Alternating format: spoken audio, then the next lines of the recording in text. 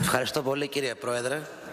Κυρίες και κύριοι συνάδελφοι, αρχικά θα ήθελα να κάνω ένα γενικότερο σχόλιο αναφορικά με την στάση της αντιπολίτευσης και ιδιαίτερα της αξιωματικής, όπου παρακολουθώντας προσεκτικά τις ομιλίες των βουλευτών της Νέας Δημοκρατίας, θα μπορούσε να πει κανείς ότι αφενός ή κάνουν πως δεν καταλαβαίνουν αποσκοπώντας με άκομψο και πολλές φορές φθηνό τρόπο να αντλήσουν πολιτική υπεραξία ή κάτι χειρότερο.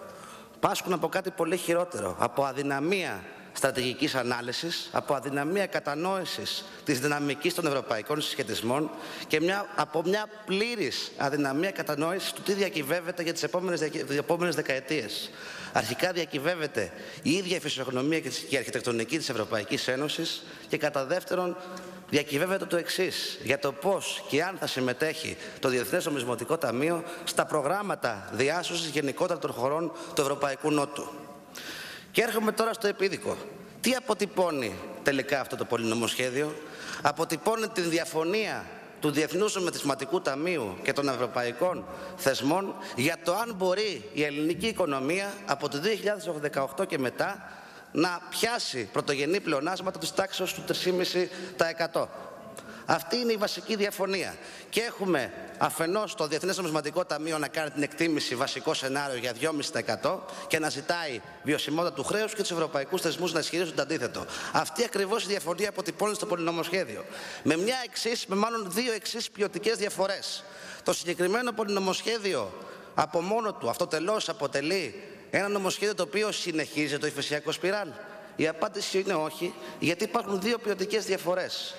Πρώτον, ότι η κυβέρνηση καταφέρνει να ανάξει αυτό το συγκεκριμένο πολυνομοσχέδιο σε βασική προϋπόθεση προκειμένου πολύ σύντομα να υπάρξει ρύθμιση της βιωσιμότητας του ελληνικού χρέους, που αυτό σημαίνει ένταξη στο πρόγραμμα της ποσοτικής χαλάρωσης, που αυτό σημαίνει έξοδο στις αγορές και αφετέρου μετά από 7 χρόνια αρνητικών μέτρων να εγγραφούν για πρώτη φορά και μέτρα με θετικό ισοζύγιο. Αυτές είναι οι δύο ποιοτικές διαφορές. Υπάρχει πρόβλημα, κυρίες και κύριοι συνάδελφοι, υπάρχει.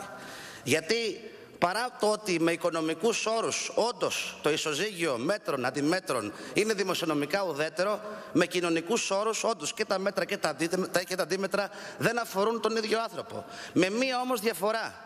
Επειδή η σύγχρονη επιστήμη δεν έχει εφεύρει ακόμα το άλμα στο χρόνο και πολλοί θα θέλατε να βραδιάσει Πέμπτη και να, ξε, και να ξημερώσει πρώτη πρώτου του 2019, αυτό δεν πρόκειται να συμβεί. Μεσολαβούν μετά την Πέμπτη, ξημερώνει Παρασκευή και μεσολαβούν 20 μήνες.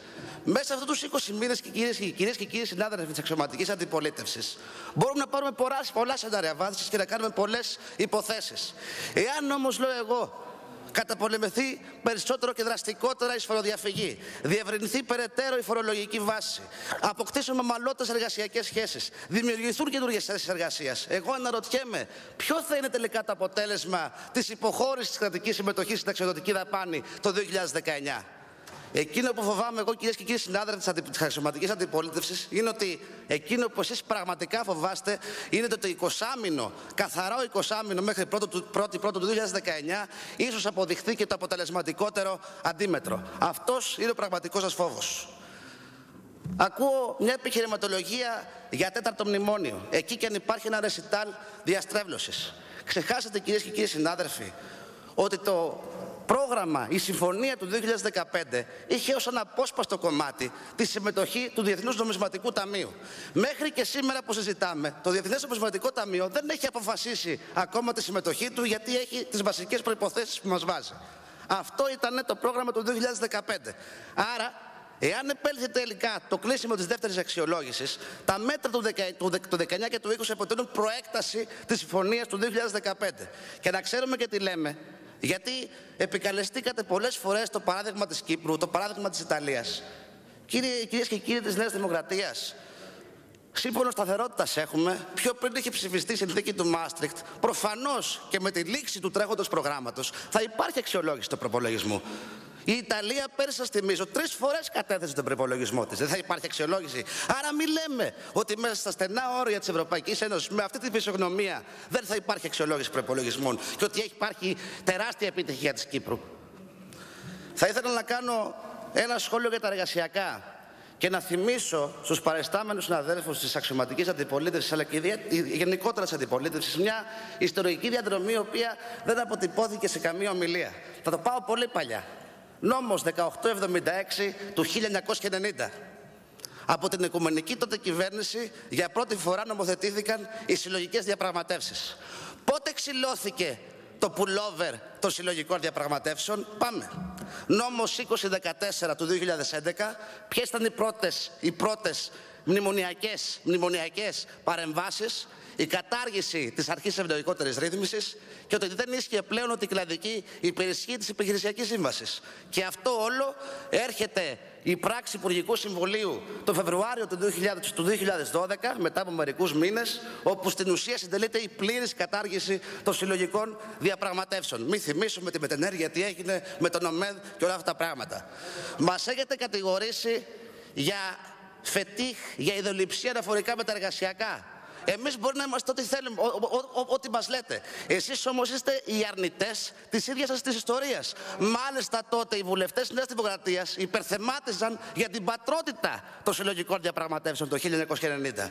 Τι κάνει η τελευταία ρύθμιση; Τι κάνει η τελευταία ρύθμιση; Αντί να έχει ισχύ η αντεργατική νομοθεσία του 11 μέχρι τη λήξη του μεσοπρόθεσμου προγράμματος λίγη, λίγη, λίγη με τη λήξη του τρέχοντος προγράμματος το 2018. Ποια είναι η επιδίωξη, ποια είναι η επιδίωξη, η επαναφορά στο θετικό πλαίσιο του 1990 όσο πιο κοντά γίνεται. Αυτή είναι η αλήθεια. Κυρίες και κύριοι της αξιωματική αντιπολίτευσης, ο κόσμος κρίνει και θα μας κρίνει. Θα μας κρίνει για τα καλά και για τα κακά. Για τα λάθη και τις παραλήψεις μας, αλλά και για τα σωστά μας.